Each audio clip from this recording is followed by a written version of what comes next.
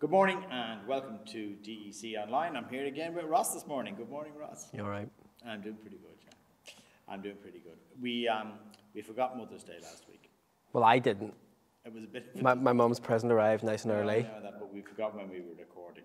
And so, um, yeah, thanks to Ben for putting up the, uh, the bit about all the mothers. Uh, so, a belated Mother's Day to all the mothers in the church. Uh, and uh, so, I'm wearing green this week because it's um, celebrating uh, St. Patrick's Day, which has just gone, and uh, being Irish. So, yeah, and I've even got a bit of um, orange there as well. Like eh? Yeah, I got blue on underneath for his Italian heritage and red socks on for his, for his Welsh heritage. So anyway, and, and later on in the service, I'm going to be telling a story about, about an Irish hero, um, somebody who's largely forgotten, but I think uh, hopefully that you'll find it helpful when we come to that. So we're going to start off this morning uh, with a worship song, and um, it's, it's not a new one, uh, it's a bit older a Revelation song, but it's a great song. So uh, worship with us as we uh, sing this together.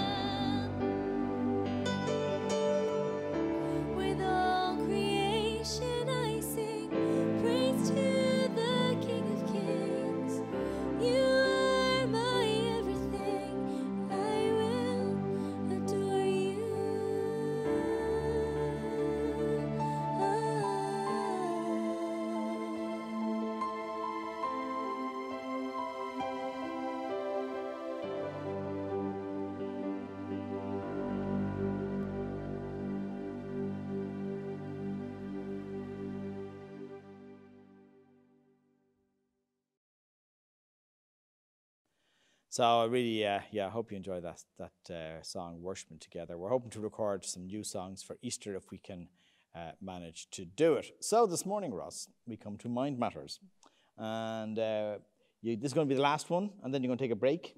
Um, but you're going to be speaking next week anyway, and um, so um, yeah, what are you going to be talking about? So, well, let me get Yeah, I on with it. just go for it, yeah. So at the beginning or the end of most of these uh, recordings, we've prefixed them or ended them with a suggestion that if you're struggling in a particular way, we'd encourage you to maybe seek out some specialized help. If what you're struggling with is not resolvable by yourself or through dialogue with a friend um, or whatever else um, you have tried to do. And so for many, the idea of going to counselling or for some therapy can be still a little bit of a strange concept, and people maybe don't really know what to expect. Perhaps that's because in Ireland, for so long, therapy was maybe seen as an American thing or it didn't really happen here, or we maybe had images of it from the movies where people were lying backwards on a couch and that just seemed a little bit strange.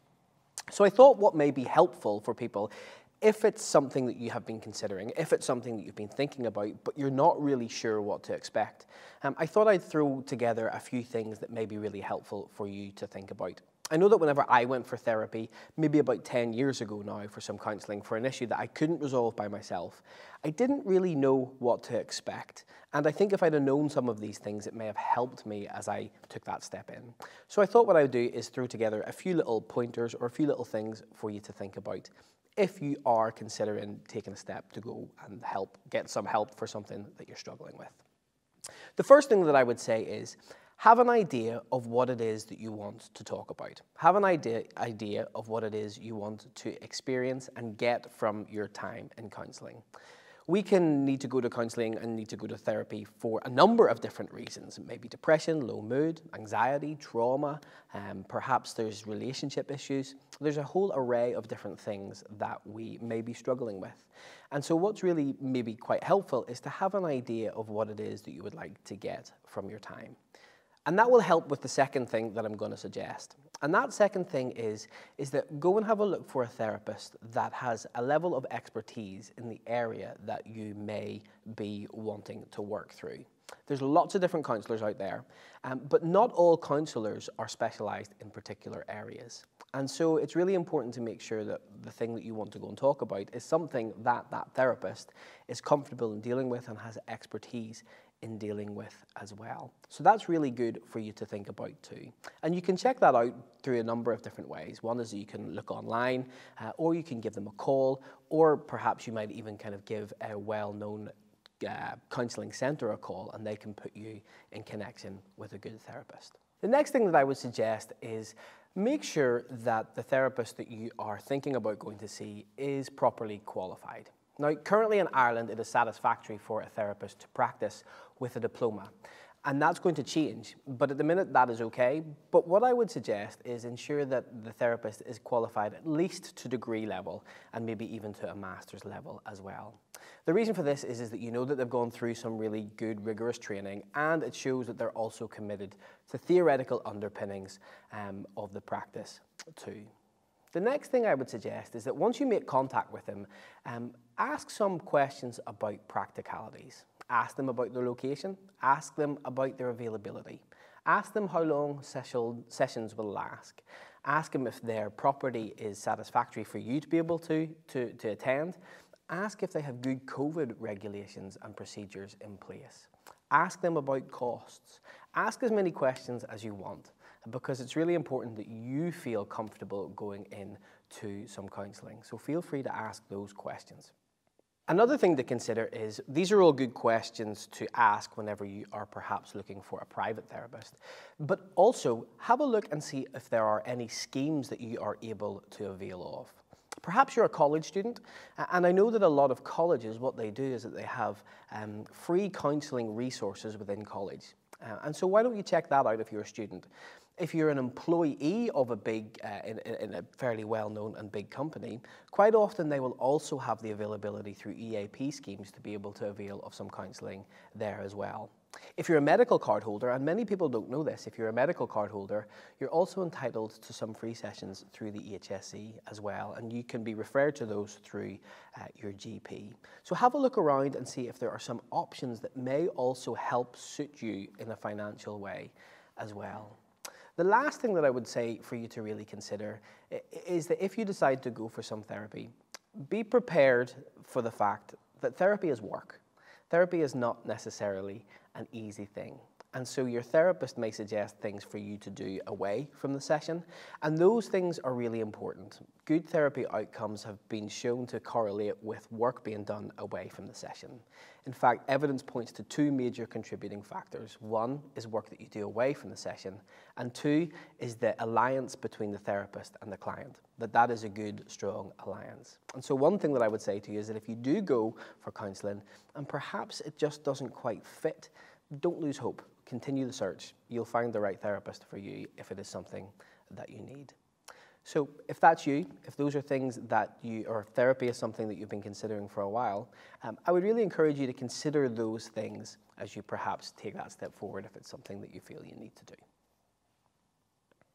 So thanks for that, Ross. Yeah, I think it's really important, isn't it? To, I, I, I, think the important, you know, of trying to find the right person that you can connect with or whatever is, is important, you know, and uh, that you trust.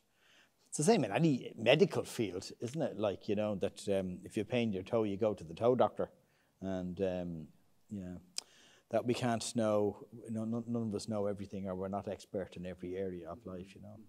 But I, I, I do think, I, I think back to what Charlie Mackesy said at that conference we were at in London some years ago, when he said um, one of the greatest lessons he'd learned in his life was to say, when he wasn't okay, that it was okay to ask for help. Yeah.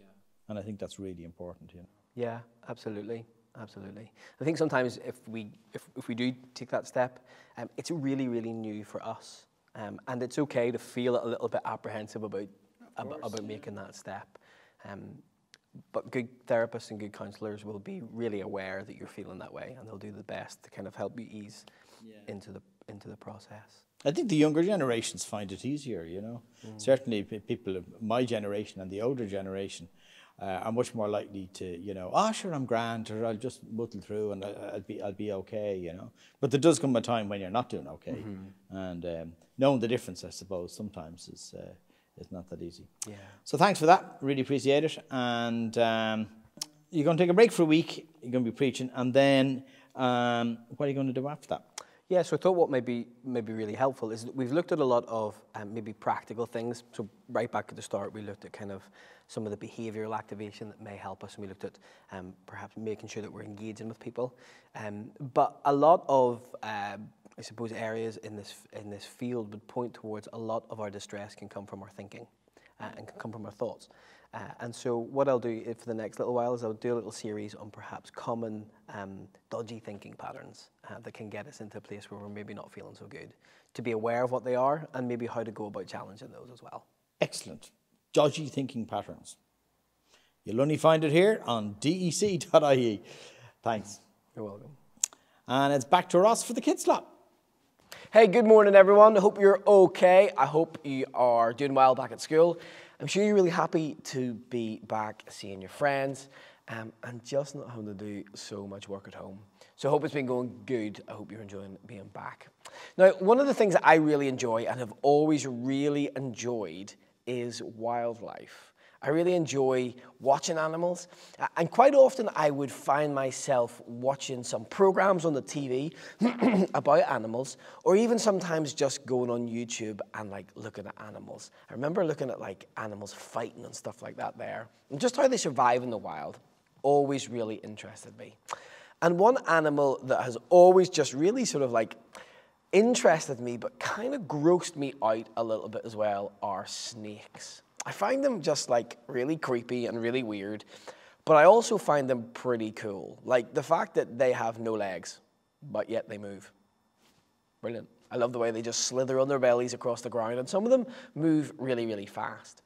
I love the way they kind of like use their tongues to just like figure out what is going on around them. Their tongues are so sensitive that they pick up on all these different things and, and, and they taste the air, and when they taste the air, it kind of lets them know what's around them. I just think that's really fascinating and really, really cool. And I love the way like they eat their food. Like it's kind of gross, but it's just like they wrap their mouths around it and then they just swallow the whole thing. It's like crazy. Don't try that at home because it's not good for us. But one of the things that I also find really, really class, but also kind of gross, is the fact that they shed their skin. Watch this.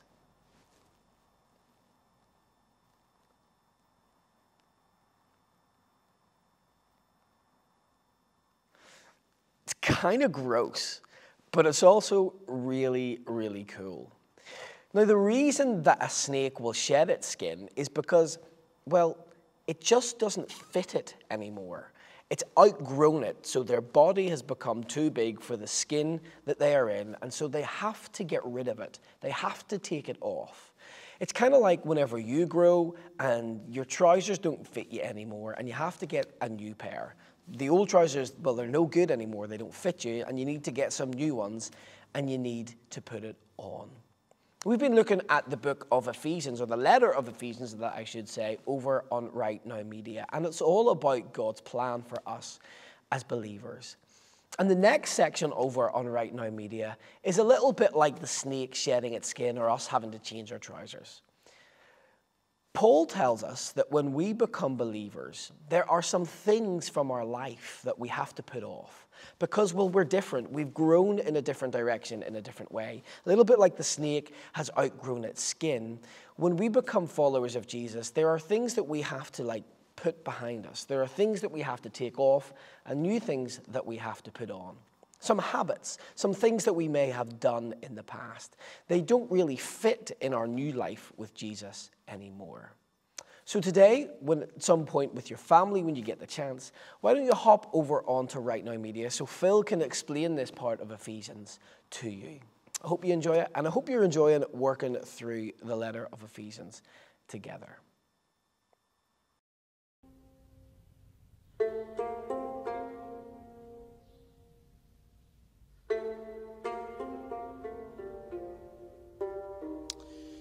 So, um, this morning is our last talk uh, from Corinthians on uh, spiritual maturity for a couple of weeks as we have Easter coming up. Next week, Ross is going to talk uh, on Palm Sunday, and the week after then is Easter Sunday. And then we'll be back the Sunday after that uh, talking about uh, Corinthians. So, in the last talk uh, that I gave in this, Paul, we, we looked at how Paul. Um, was saying that he was entitled to various things as an apostle, but he refused to accept them because he was so dedicated to preaching uh, the gospel. And one of this idea, one of the ideas that uh, Paul talked about at the time, and, and right through, is, is, about denying yourself uh, in relation to your walk with Christ. And Corinth, we know at the time, was a beautiful city. I watched a documentary on the TV the other day about it absolutely fantastic city, a beautiful place to be, and a place of pleasure. The Corinthians were really dedicated to pleasure, and um, even people went there on holiday. And, uh, and therefore, Paul talks about this change in being a believer where you're not dedicated to pleasure, but dedicated to the pursuit of God. And it comes in all aspects of daily life. He talks about marriage and about sexual morality, disputes between people, leadership. And, you know, you, you see that in a lot of what he's saying, he reflects that peak that Jesus got to in the Sermon on the Mount, which is love others as you love yourself. Treat everyone as you wanted to, as you want to be treated. And it's not just a nice idea, you know. I think often we've heard that repeated oh love each other as you'd like to be loved as you love yourself and treat others as you'd like to be treated. And it can just seem like a kind of a nice idea or even sometimes even a trite thing to say. But actually it requires self-denial. It requires a whole way of life that is quite different to maybe other things that we hear. And so now we come to the end of chapter 9 and there's two sections in it, which we'll take um, one at a time, uh, where Paul just basically continues on the theme. So here we go. So this is the last section of chapter 9, and we're going to start reading from uh, 19 to 23. So here we go. And I'm reading from the uh, New Living Translation. Even though I am a free man with no master, I have become a slave to all people who bring many to Christ. When I was with the Jews, I lived like a Jew to bring the Jews to Christ. When I was with those who followed the Jewish law, I too lived under that law, even though I am not subject to the law. I did this so I could bring to Christ those who are under the law. When I am with the Gentiles who do not follow the Jewish law, I too live apart from that law so I can bring them to Christ. But I do not ignore the law of God. I obey the law of, God, of Christ. When I am with those who are weak, I share their weakness, for I want to bring the weak to Christ. Yes, I find try to find common ground with everyone, doing everything I can to save some. I do everything to spread the good news and share in its blessings. And so Paul here is talking about taking on the mantle of Jesus. And maybe the, the um, example of Jesus that we can most readily go to is the one of washing his disciples' feet, where Jesus takes on the lowliest task of the lowliest servant. Um, and he shows his disciples what it means really to be a leader and to be a servant is to take on these tasks so that you don't elevate yourself, that you're not putting yourself up, as it were, at the top of the table, but instead doing the lowliest task. And what free man would declare himself a slave? But that's what Paul does here. In fact, it would have been a pretty shameful thing to do. People were proud of being free, and slaves were considered really, even though maybe up to a third of the population were uh, slaves of some sort or another. Um, obviously, the freed people considered themselves to be considerably above slaves. And yet, Paul says, I have become a slave to bring many to Christ. And he explains that he becomes a Jew to the Jews. Well, you'd say, how, how can you do that? Sure, he was already a Jew, and he lived as a Jew all his life, and he followed all their customs. What he really means here is that he, he followed the Jewish customs and continued to follow them when he was living with the Jews, so that he would not be unhindered in spreading the gospel to them. And even though he felt free not to follow the whole Jewish law anymore, he still did it when he was with the Jews so that he wouldn't offend them and so that he wouldn't be unhindered in sharing the gospel. Maybe a good example uh, to talk about this is uh, we read in Acts 15 that Paul uh, had Timothy, who was a Greek and a Gentile, uh, who would have been uncircumcised, that he had him circumcised so he could bring him with him uh, among the Jewish people when he was ministering to them. Now, that goes in, it seems to go against so much of what Paul had already written about and talked about, and, and the arguments that had gone on about fulfilling the Jewish law, and particularly in his writings to the Gentiles, where he said, or uh, to the Galatians, where he says that circumcision is nothing. And he became very heated with the Judaizers. But the reason that he became heated with them was that they said circumcision and following the law was necessary for salvation. And he absolutely refuted that. And he said it's a hindrance for Gentile believers coming to the faith and so on. And he wouldn't have anything to do with it.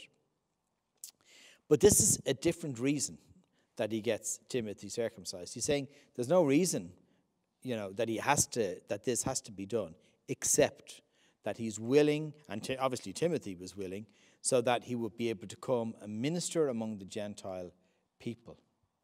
And so Paul shows that it's the message of the gospel which is really important, not the cultural restrictions imposed by various groups. And it's a great lesson to us because we can uh, so often become embedded in our own culture and subcultures uh, that they take precedence over the gospel. And the question, I suppose, that he asks of us is what are we willing to do? Uh, and, and how are we willing to change that we may be able to share the gospel unhindered with others? Are we really willing to accept people as they are, not as we want them to be? People who are entirely different to us, people who think differently, come from different cultures, and have different ways about them. Do we, you know, are we happy not to expect them to be like us? And how are we willing to change? There's been many examples of people who've managed uh, to cut themselves free from the cultural worlds that they were born into and uh, to make massive changes so that they could go and share the gospel. And there's many well-known stories of missionaries who went to China and India and various other places and changed their cultures, the cultures that they had been brought up in, and, and, and how they thought so that they could freely share the gospel. But because of the week that's in it, I wanted to share the story of an Irish guy. And uh, the guy uh, is a guy called Edward Nangle, and he was known as the Achill Irish uh, missionary.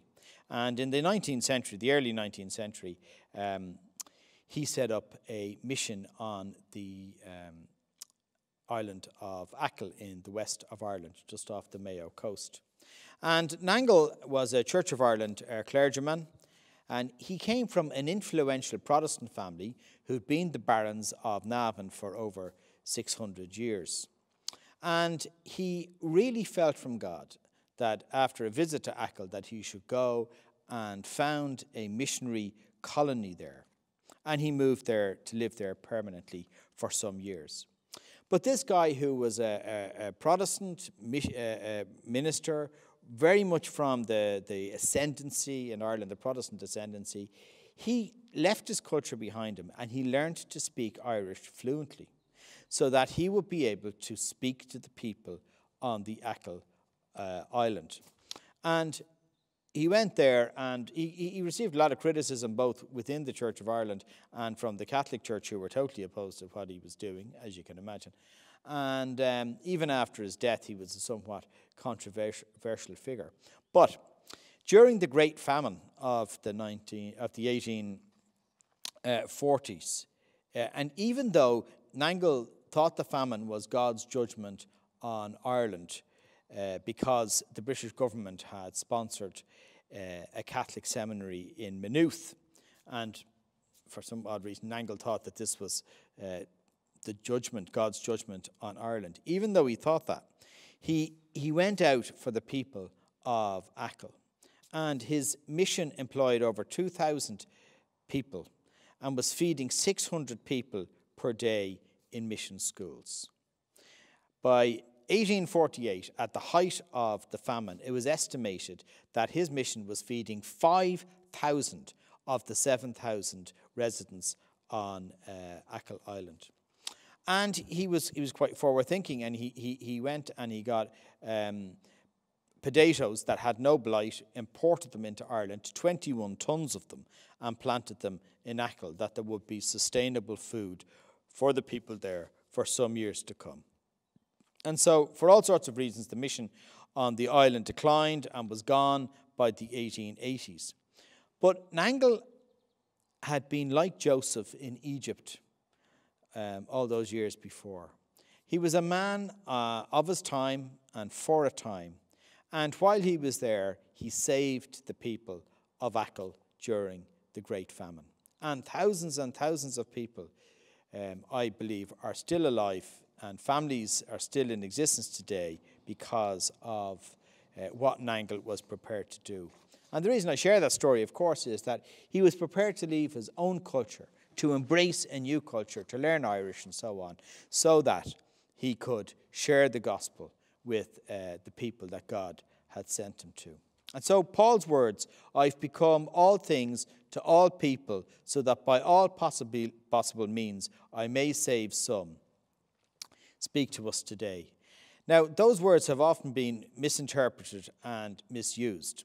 Paul's clearly not saying, Look, I've become a thief so that I can save thieves, or I've become an adulterer so that I can speak to adulterers. He wasn't talking about embracing a lifestyle that wasn't right. This is about culture and about actually giving up some of the cultural heritage, even that he had, so, to share the gospel.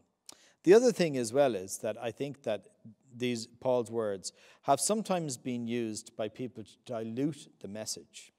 And there's a kind of a feeling out there, often throughout generations, where we feel that in order to get into the mindset of the generation that we're in, that we have to embrace maybe the morals of that generation or the zeitgeist, the thought of the generation. And I think that that's a very dangerous thing to do because it leads to a lot of compromise. Um, and while we, and in doing that, I think we can completely lose the message that it is that we're trying to share. And so Paul changed himself so that he could share the message with the people, but he wasn't prepared to change the message. And I think that that's important that we uh, know that. He didn't get into the groove with the Corinthians who were living a hedonistic lifestyle of pleasure. In fact, he was quite countercultural and talked against what they were doing. Um, the preeminent goal in his life was to see people brought into the kingdom. And I believe that's a real challenge to us. It asks us the question what is the preeminent goal in our lives? What is it that we really, really want? What do we reach out for? What are we really going for? Paul gives the Corinthians then uh, an example from a scene that they all would have been with, uh, really familiar with. Like the Irish, the Corinthians, well, the Greeks, uh, the whole lot of them, were all mad into sport. And uh, they didn't play rugby at the time or soccer, but they had quite a few sports uh, that they were involved in. And at the time um, that Paul was living in uh, Corinth and then writing to them later, the um, Isthmian Games were held uh, on the Isthmus of uh, Corinth. And it was a huge event massive event. The game started about 600 years uh, before the time of Christ and land, lasted into the fourth century. So they were, you know, they were there a very long time. And through thick and thin, these games existed. Um, they existed before the Romans ever got there, and um, I, I, found it fascinating that the Greeks, when they were fighting with, with, each other, if you know anything about Greek history, you'll know there was little Greek states. Uh, there was a thousand of them at one time. And so each of the cities was its own little state. And so states like Athens and Sparta and Corinth, they were always fighting with each other. And in the middle of a war once between Corinth and Athens, who were fighting, um, they stopped the war for the games. And the Athenians who came to Corinth for the games were treated really well. Some of them won competitions, and then they went off, and then they started fighting with each other again. That's how important these games were to them. And when the Romans arrived and completely obliterated Corinth um, before Julius Caesar rebuilt it, um, even then the games went on, even though the city of Corinth wasn't there. People used to arrive, set up tents, and um, the games would go on every two years. The Olympics were on every four years in Olympia, and the Isthmian Games were on every two years. The Olympics were dedicated to Zeus, to Zeus, and the uh, Isthmian Games to Poseidon. And um, mainly it was Greeks that were um, allowed, to, only Greeks originally that were allowed to enter the Games, but then when the Romans uh, rebuilt uh, Corinth and they, they were part of the Roman Empire, Roman citizens were also allowed to take part. The winners received a, uh, a wreath of celery originally, but by uh, Roman times that had changed to pine leaves. And you know, those who took part, the athletes in these games, uh, apart from getting just a wreath, actually they were treated with great honor. And there was absolute superstars of the time. And we even know some of their names still. And um, while you know, we might have the thought that they were all just amateur athletes who kind of came along and went, you know, ran in the games or did whatever they did and went off again. That's not strictly true. It would appear that actually some of them were professional athletes. That's pretty much all they did. They trained all year for the games. We know that the Athenians were so keen to win that they actually paid their uh, winners 100 drachmas. So if you think um, a drachma, one drachma a day was the average industrial wage, they got paid 100 drachmas, a, a third of a year's wages uh, for winning a title. And so um, it was uh, it was it was big business. And uh, the other thing as well is it was it was often corrupt as well, and um, judges were bribed even though it was uh, prohibited by law. And so it was very very competitive. Anyway, there was all sorts of events, and uh, one of the big ones was chariot racing. Um, for which this massive stadium was built, and um, 40, 50,000 people used to go and watch the chariot racing.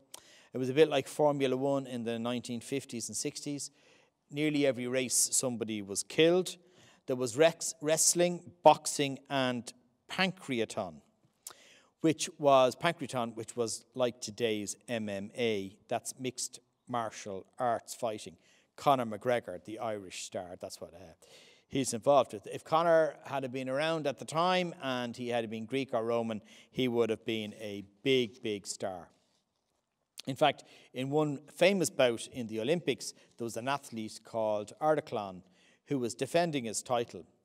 And he was uh, suffocated during the fight and he died, but not before being declared the victor because the other guy was in so much pain he had conceded. And so the judge um, called the fight for Ardachlon, but uh, when the other guy got off him, uh, it transpired that he was dead. So, um, and there was men, men, only men were allowed to take part in all these various events, but they did have singing and poetry competitions also, for which, uh, in which women were allowed to take part. So I tell you all that about the games before we read the next part of what uh, Paul has to say to us. Um, Paul reminds the people who, he says, you know, dedicate your life, give your life to serving Christ for the gospel. And he says, though, do it in a way like the athletes at the games. And he gives them as an example, as a way to live. And so we're reading from verse 24. Don't you realize that in a race everyone runs, but only one person gets the prize? So run to win. All athletes are disciplined in their training. They do it to win a prize that will fade away but we do it for an eternal prize. So I run with purpose in every step. I am not just shadowboxing.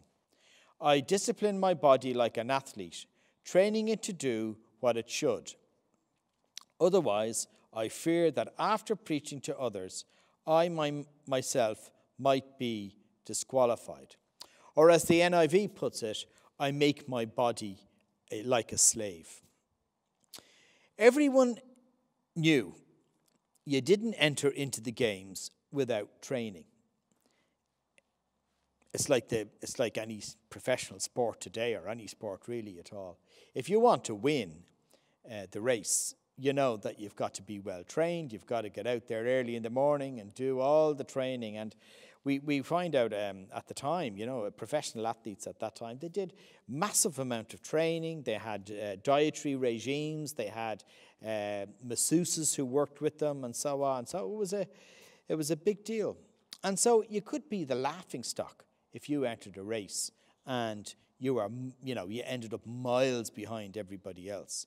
And you certainly didn't enter into a boxing ring or uh, to do the uh, Pancrean fighting unless you were extremely well trained and experienced. Because to do so could be suicide. Uh, the boxing they did at the time, they just wound leather around their, uh, their fists and they fought with each other. But there was no three minute uh, bouts uh, or rounds uh, and, and, you know, and 10 round bouts or anything like that. There was no headgear. They just boxed the head off each other until somebody collapsed or they conceded the fight. And the fight could go on for hours. And even the champions died, as I said earlier on. You might remember last week that when, uh, if, if you were watching the service last week, I was talking to Robbie Burns, who said that one of the things he likes to do is to cycle, and that he went and uh, cycled on one of the stages of the Tour de France on his holidays. And I said I thought that was a kind of a crazy thing to do, but he said you, you wouldn't go and do it without training first. And that was the point that Paul is making here. You wouldn't go and do all these things without putting your body into training. And as he said, the, the athletes entered the race or whatever it was, competition that they were taking part of, with one goal in mind, and that was to win the garland of celery or pine leaves and the honor that came with it. And he said this was such a big deal. People dedicated their whole lives to doing this. But he says, you know, the prize only lasted a very short time. In fairness, um, a, garland, a garland of any type of leaves would soon be rotten. He said, though, the race that we're running in, the prize is eternal, it is everlasting. Paul is using the games, the Isthmian Games, as an, an analogy. The athletes don't run around for just for the crack or to get a suntan. They're totally dedicated to the prize. He said the boxer or the fighter doesn't ha- he's not just waving his hands around in the air. He has them ready to fight all the time to go. The athletes that go into training only do so after the culmination. The race is the culmination of months and months of training and of self sacrifice. You have to stay trim and deny themselves the pleasures so the pleasures of the world so that they could win the prize. When you think about it, in the context of what we have been talking about over the past few weeks of spiritual maturity, Paul is telling the Corinthian believers that they have to take the Christian life seriously, like athletes take running seriously. The athletes run or fight in, to honor the false gods of Zeus at the Olympics or Poseidon at the Isthmian Games. But he tells the Corinthians, you know, your lives are dedicated to the one true God. And that means that some of the rights you possess have to be sacrificed, just as the athletes sacrifice to train their bodies for action. Tom Wright, in his commentary, says that well, the message was about as popular in Corinth at that time as it is today in our world. That is, not popular at all. Much of Western culture today is about declaring your rights, the rights of the individual. Do whatever makes you feel good. Enjoy yourself. Go on. You know you deserve it. Think of all the advertising that is around us that keeps on passing on that message. The message of self denial is not a popular one. However, it's a necessary one for the church to embrace. Maybe never more than today, where the outside looks into our world, unafraid to criticize, picking up everything that is not authentic and real. How we spend our time, our money, and who we spend them with are important. For some of this message, for some of us, this message should lead us out of our holy huddles, where we spend all our time with other Christians, so that we can engage with the whole world out there, so that the cultural norms we are used to, we're prepared to break, to be with those who are different to us, as Paul encourages us to do. For others, this message means that we need to be a bit harder on ourselves so that we can become effective Christians running straight for the prize. Can you think of something that's slowing you down? Something maybe that is like a pack of stones on your back as you, if, uh, if you were going to be running in a race and you had a pack of stones on your back. If there's something that is slowing you down that much, maybe today is the day that you decide to let it drop from your life so that you can run faster. Amen.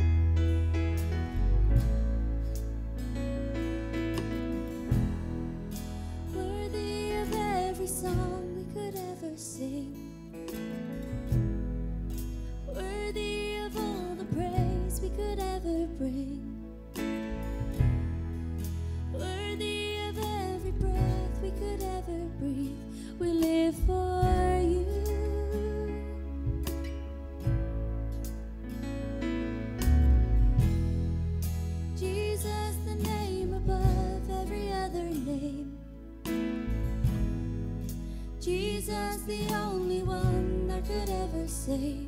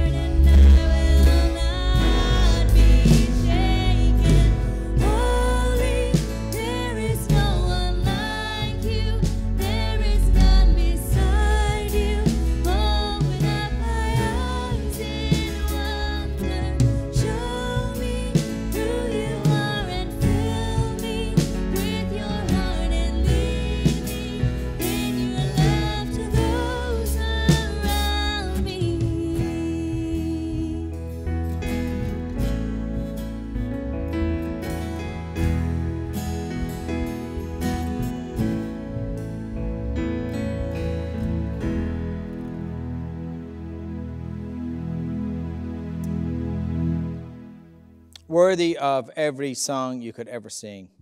We live for you. And there are fantastic words in that uh, worship song. So I'm now joined by Cliff. Say hi, Cliff. Hi, Cliff. Good to see you. Uh, and we're going to, Cliff's going to lead us in prayer in a minute. But first, we're going to go to the Church and Chain videos, and uh, which we always do as part of Lent. For those of you who are watch these things, um, you'll see that we actually omitted the uh, video for last week. So that's why there's two this week, because we don't want to forget anybody that we're praying for. So we'll be back to you in a few minutes. During week four of Church in Chains' Lent prayer project, we're praying for Yusuf Nadarkhani, who's a leader of the Church of Iran House Church Network. He's been in prison since 2018 and is serving a six year sentence. Yusuf was born into a Muslim family and became a Christian at the age of 19. He's been in prison before. He previously spent three years in prison under sentence of death for apostasy before he was acquitted and released back in 2012.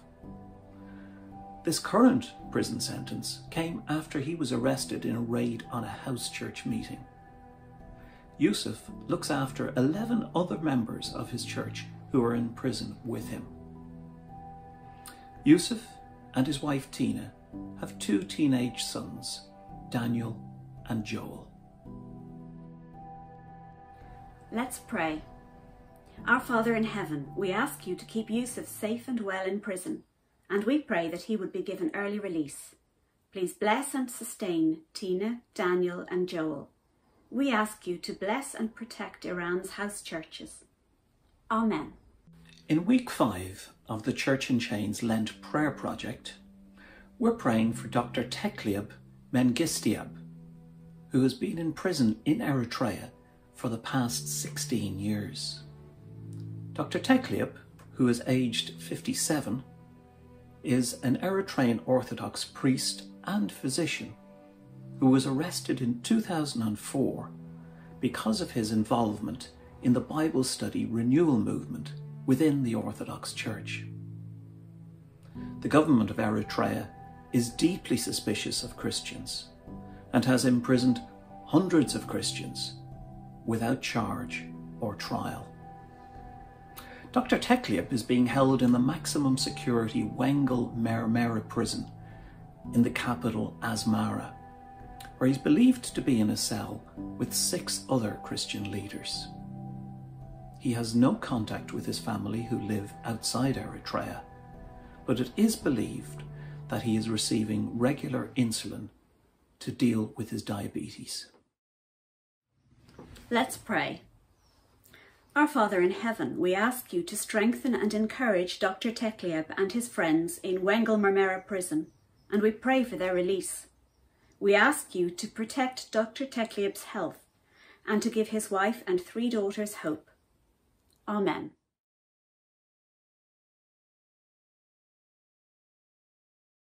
So, Cliff, you're going to pray with us today. How's life treating you for starters?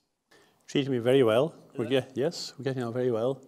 We managed to keep ourselves busy, which is what it's all about, and getting out for a walk every day, which is not something I was doing before COVID came along. Were you not? No, I was not. So uh, my life has changed dramatically because of that. For the better.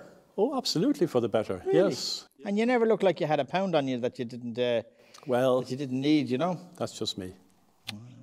Well, I wish I was just like that too. Anyway, it's great to see you. Please lead us in prayer. Today, I want to use my hand to lead us through prayer. First of all, the thumb, which is closest to us, reminds us of our families. Those close to us our husband, our wife, our partner, our children, our parents, grandparents, our siblings. Father, we thank you for these people. We thank you, Father, for uh, the people you have given us in our family, the people who care for us, and the people we care for as well. Father, we thank you too that during this time uh, when some of us have been locked away, so to speak, in our own houses or apartments or wherever we live, that you have given us the grace to be able to get through these things. Father, we pray that for those people who may be still in, in, uh, stuck indoors because of COVID, or those who maybe families who have parents working at home or children uh, maybe still doing school, homeschooling, that you will give patience or extra patience needed because of the way people are thrust together in, in an unnatural way for so long. Father, we remember the talks which Ross has been given about uh, mental health, and we ask that we be able to put these tips that he has given us into practice. The next finger is our index finger, and that reminds us of those who guide us in our lives. We think of the Gardaí, we think of the leaders of our church, we think of uh, we think of our bosses at work, uh, maybe our college lecturers or school teachers. And we also think too here of the, uh, we want to remember the healthcare workers and carers. We thank you for these people, Father, for the way you have given them this charge and for all during this time. Some of them have been working so hard all during this COVID time. And we ask that any particular, any of them who are particularly uh, tired or just worn out, that you will give them rest at this time, Father. Just be with each one of them as they have need. Our next finger is the tallest finger, and we remember those. Uh, we remember the President of Ireland and our government, and we add in NPHET here as well. We ask you to just to guide them in the decisions which they have to make, not just about the coronavirus and vaccinations and so on, but also about the economy and uh, all the decisions that need to be made to try and get the economy back on track again. We remember those people who maybe have lost businesses and those who have maybe lost their jobs or have cut, who, whose pay has been cut. Just be with these people, Father. Give them guidance as to how to proceed and provide for them. We just thank you, Father. Our next finger is the weakest finger in our hand. And we remember those who are known to us who are sick, those who are in hospital, in nursing homes. We remember the elderly. We remember those who are mourning. Father, this is a particularly difficult time when we, if somebody we know, somebody we care about has died, and so few people are allowed to attend a funeral, which is so unnatural for us here, Father. Father, we ask for you wrap, wrap your arms around these people, just care for them in an extra special way. Father, those people who are in nursing homes and in hospital, uh, we ask, and those even who are at home who are not well, we ask that you bring back good, full health again for these people. And we thank you for the carers who, who look after them too, Father. The last finger is the smallest finger, and that reminds us of ourselves. It reminds us of uh, that you provide for us, that you look after us. And anybody who, any of us who are not well, Father, we ask for good health, you to bring us back to full health again. Thank you, Father, for um, just being with us. And we thank you, Father, for, as I mentioned earlier, that I'm able to get out for walks and for the way we have discovered just maybe a peace in, in our lives which wasn't there before because we were so busy living and rushing around that now we can just be still and enjoy nature and listen to the bird song. We thank you for this, Father. And this reminds me, Lord, of the last couple of, phrase, of verses in the 23rd Psalm. You, Lord, are with me. Your rod and your staff, they comfort me. Surely goodness and love will follow me all the days of my life, and I will dwell in the house of the Lord forever. Thank you, Lord. We pray all these things in Jesus' precious name. Amen. Amen. So thanks, Cliff. And um, yeah, thanks for praying that. I, I think it's, it's, it's so true, you know, that we find peace. Many of us have found more peace in the middle of uh, this uh, pandemic in terms of spending more time with families, more time at home, not rushing to meetings in the evening and all that sort of thing. And certainly that's been my experience. well. I think it, for a lot of us, it's turned our lives topsy turvy, upside down, and forced us to reevaluate what is important in our lives and uh, to get, get rid, of some of the things which aren't important. It will be very interesting that when all this is over and we get back get to a new normal, what things we won't be doing anymore, Yeah. and maybe what new things we will be putting in in place of them. Absolutely true. I think we'll have to be very careful not to go rushing back to where to where we were doing all the bad things, you know. But I think it will be one of the things we will find is relationships uh, will be a very important thing in the future, particularly relationships within families. Yeah. That we care for each other, we care for our neighbours, our relatives, uh, a lot more than in the past, Yeah. uh, and, or that has been obvious in the past. But that that's something which I think will just be more important to us, Yeah. have a higher priority in our lives in the future. And that's a good thing. Yes, it is. Yes, it is. So thanks very much to Cliff for being with us. Thanks to Ross for earlier, and to Megs and uh, those who do music. And uh, we're hoping to record some new stuff uh, soon enough for Easter. Um, so thanks for being with us this morning, and um, I hope that you've uh, enjoyed uh, listening, and that you are participating, and that also that God has spoken to you this morning, and uh, that you have heard His voice. And so um, we pray for you peace and joy and safety. And see you again next time. Bye bye.